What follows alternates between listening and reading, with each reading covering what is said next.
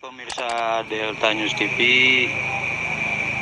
Malam ini Kamis 22 April 2021 Saya berada di lokasi kegiatan proyek rehabilitasi SS Kedung Gede.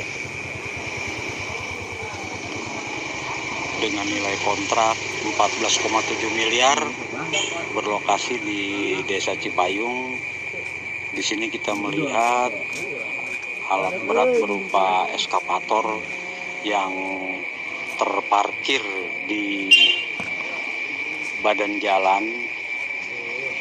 Badan sementara badan jalan tersebut eh, di- dilintasi oleh masyarakat sekitar.